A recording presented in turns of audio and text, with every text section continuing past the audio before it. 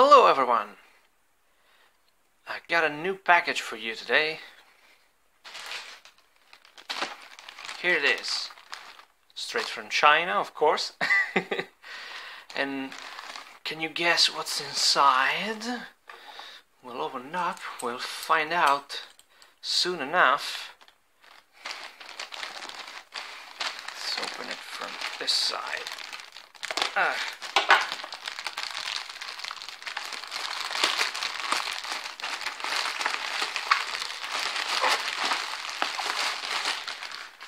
Ho! Look at this. Family pocket. it looks like it's been wrapped in a life preserver or something. With an inner tube. Can I take this? Can I just throw it in the swimming pool or something? There we go something? Oh, there. There's the AC adapter. So, we got ourselves a family pocket. It's a pocket that the whole family can use. And there's a character from One Piece on the front. Can't remember. What's this guy's name? The one with the three swords. Guess where the fourth sword goes? Ah, whatever. So, I thought this was a Chinese bootleg, but I can't tell if this is. This I think is Chinese, but this looks like Japanese to me. Hmm. But anyway, it's another Famiclone, of course, a portable Famiclone. And there's some more stuff written here that I can't read. Choking hazard, small penis, okay. And it it's interesting that this works either with batteries or uh, lithium battery, a cell phone, like a cell phone battery. So it can do both, I think. Although I see a sticker here, so maybe this unit only works with batteries or, or it doesn't come with the battery included. I mean, we'll see soon enough. Yeah, I know what you're thinking. Oh, this product is with patent. Where is patent? I don't. Uh, whatever. So I know what I know what you're thinking. Enough with this Famiclones already. Do you leave off Famiclones? I mean, I like them. Can't say I don't. It's a disease. It's a sickness. I need more Famiclone. Uh, anyway, I got this one because it looked like it, it had a really, really nice design, reminiscent of the original Famicom controller. I have, by the way, right here, this to show you. I mean, this is of course not an original Famicom controller, but it's very similar to an original one. And you can see the resemblance. This one is a Buffalo controller for the PC. I use it for emulators. so anyway, I do have an actual Famicom, but I don't have it right here that I can show you right away. So, as I was saying, really really nice design and honestly feels a lot more sturdier than usual portable Famiclones and seems kinda nice build quality compared to the other things I've handled in the past. It also has an L and R button. I don't know what these are for because no games, I mean the original Famiclone, the original Deb, the original Famicom didn't have LNR buttons, so I have no idea what these are gonna be for. If they're gonna be other turbo buttons, I don't know. The clicky ones, though, these as well, that's not really that great on a portable console or whatever. Funny thing, look at this. The reset button is indented in the shape of the Roman numeral 1 here at the top. That's interesting. Please focus. Okay. So yeah. This console has an on and off switch here on the side, volume control, nothing on this side. Although I'm trying to understand, I mean, the back should open. There we go. Let's open the back and see. So, oh, we do have a battery included, so that's nice. And as you can see, it also takes three AAA batteries if you so prefer. And please, please stay there. Okay. And this thing is apparently there we go. A game card with the games inside. I don't know whether this is actually contains data or not. It does have the golden fingers. I guess you can see them. Maybe let me point the light a little better. A little better. Yeah, you can see them, kinda. And the light's gonna fall, of course. Technical difficulties. Stay. Please stay. I knew I shouldn't have touched the light. Stay. What am I'm gonna have to do, I'm gonna prop you up with something. Let's see if we can do this without demolishing the whole room. Technical difficulties, please stand by. Okay, here we are again.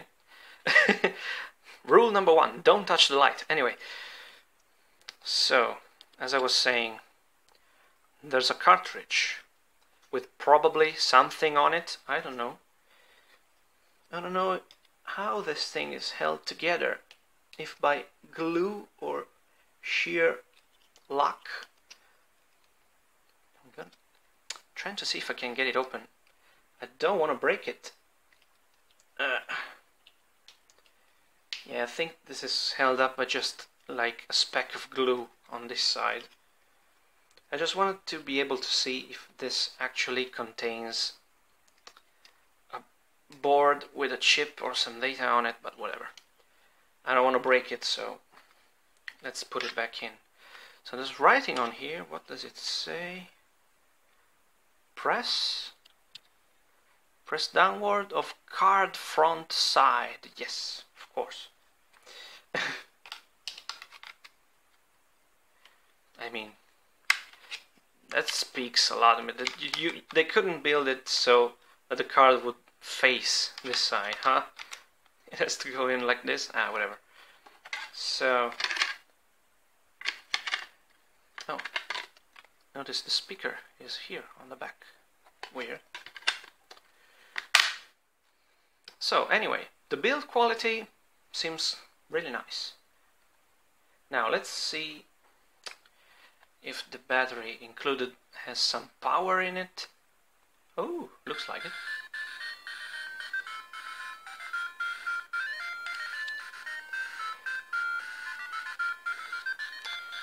So, let me see, let's just try and let me remove the cover here on the screen so you can see it better.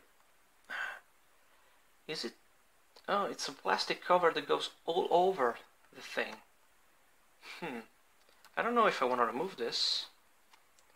Let me see if I can just smooth out some of the bubbles on the screen.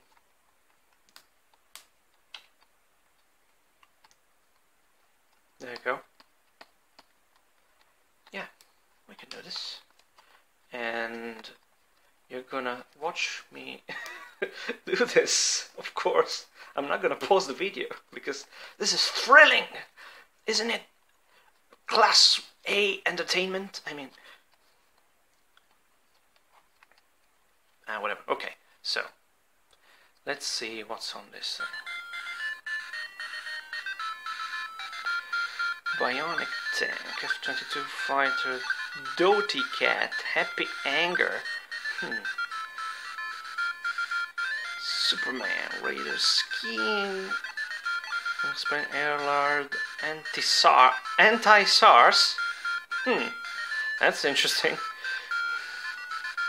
Little Hag, Little Hag, what are these titles? Alien, Aliens, Alien, the Aliens! Russia Tetris, Alert Mushroom. Mushroom? Ben Thalward these titles, oh my god. So let's see what we have. What these games are actually like. Start. Is there a way we can put this so that we don't have glare? Hmm. Oh.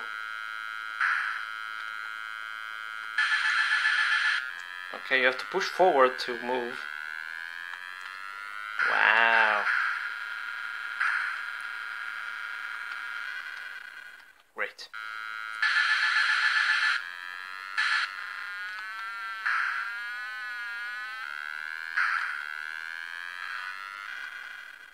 Okay. I got the gist of it.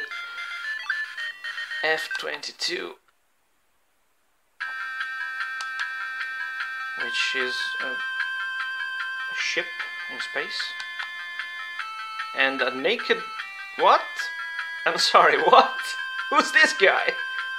Pump fist. What, what? What? Okay. Yeah, there's no dialogue, so. Um. Okay. Now, listen here. What was with that intro? what the hell was that? Okay, we're, we're just gonna go. We're just gonna play a game. Continue? No, I've had enough. Thank you. So, Doty Cat or Bootleg Hamtaro. Um, isn't this Bubble Bobble? Yep, Bubble Bobble 2. It's a hack of Bubble Bobble 2. Huh. With a Hamtaro that has seizures while he walks. I mean, it gets deformed.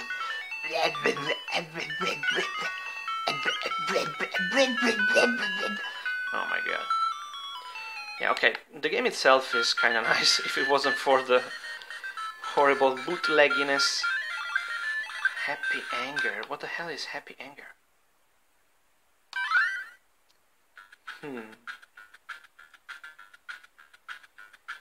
Oh. It's Looney Tunes. With weird characters. Yeah. I'm good. I'm great at video games.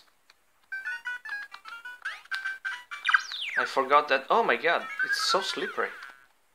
I don't remember Looney Tunes being so hard. I'm just fucking up royally. And getting mushrooms. I think. Is the level the same or did they change the level? I don't really remember. But anyway, what is this character? Let me take a look at it. Some deformed thing. What is this thing? I can't really focus that well on this. Nope, doesn't want to focus. It doesn't want to know. Oh my. Yeah, let's move on. so, the selection of games is, of course, kinda shitty. Mushroom, oh yeah. What is this music? Oh god, Mario, what did they do to you?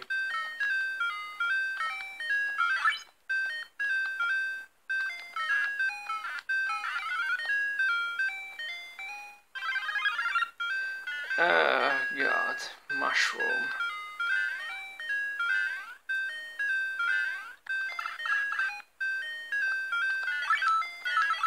Ah, it hurts. The sound hurts.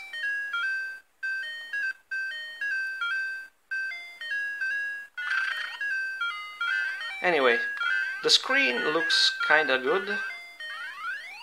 It's fine, it's alright. I mean, I've had another portable console by the same uh, manufacturers, let's say, and uh, this seems a little bit better. Still not that great. Colors are kind of weird, but uh, it's not bad. Buttons are fairly responsive. Oh fuck. I'm just playing really badly now because I'm holding the console in front of the camera. But anyway. Let me just check this out, maybe. I mean, it has a thing to connect it to the TV, so we could do that. What else do we have in here? A lanyard, that's useful. A thing to charge it via USB, oh, that's nice. Now this thing has the, oh, cool. So you can plug this through here, plug it in the wall, or you can just plug it into your computer or your TV or whatever takes USB. So that's nice. That's really nice. I didn't check the instructions. Portable player, blah blah blah. Thanks for purchasing. Okay, I'm gonna read that later. And we have a nice pouch to put the console in. Well, that's cool.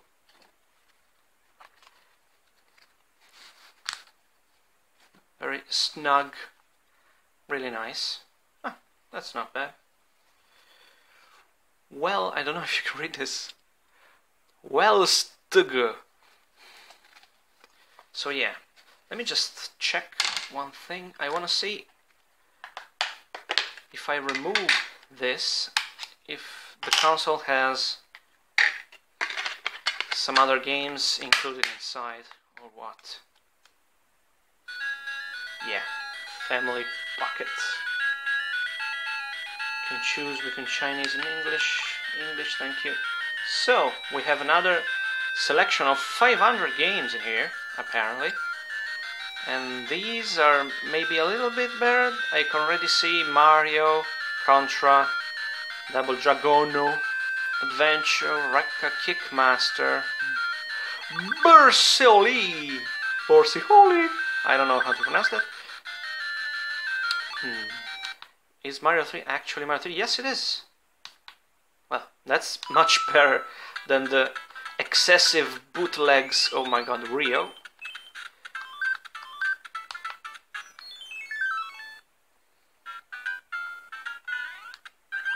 This, okay, this feels really nice. It plays alright. So they didn't fuck up with much except for some of the graphics, apparently. Okay, so that's good. What else does it have? Ah, oops, I made I did Chinese. Wait a sec. It has a different screen in Chinese. Interesting. English. So we have the Contra with the yeah with the cheat codes included, and then what do we have here? Double Dragon, Kickmaster, Ninja Gaiden 2, Contra Force, Golden Axe, Iron Road, Jurager, Action Hero, Werewolf. There's some. Oh, there's Kabuki Quantum Fighter. Well, that's great. That's one of my favorite NES games, so that's definitely a good thing.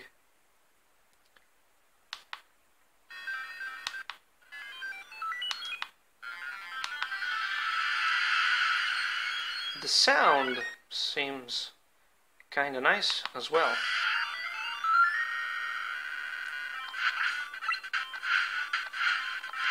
Oh, damn it.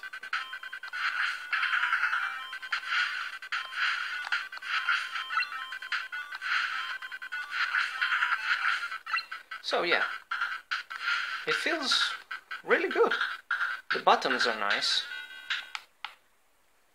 So yeah, you can basically oh fuck, you can basically do without the stupendous cartridge included because the games that are already inside the console appear to be a lot better, honestly. At least there's a few worthy titles, and they're not totally rad. I mean, they're not totally distorted or ruined or bootlegged, modified. The hell is Panda World? Ah, whatever. The City, The Addams Family, Power Blade 2, that's good. Robocop, Batman, Spider-Man, Ninja Gaiden 3, ah, that's nice. That's my favorite in the series. So yeah. Now, let's just go check and see how this fares if I attach it to the TV. So I'll be right back. BRB. So, here we are. Sorry if the image quality is not that great, but I bet it's better than before when I was holding the console in my hands and I was like, Aah! so anyway, got it hooked up to the TV now. And the video quality is pretty nice, I have to say. Let's just go over to Contra 7. I saw Ninja Gaiden 3 before. Where is it? Here it is. Ninja Gaiden 3.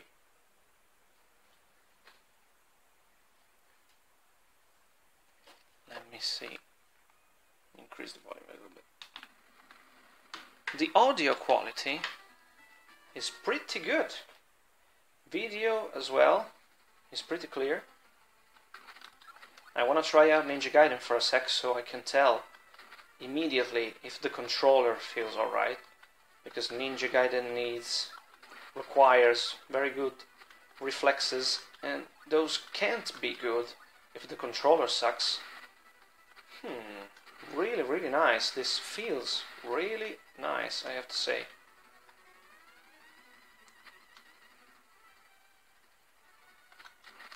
Yep, yep, yep, yep, yep. Not bad at all. This the controls are spot on with what you get on an original system, honestly.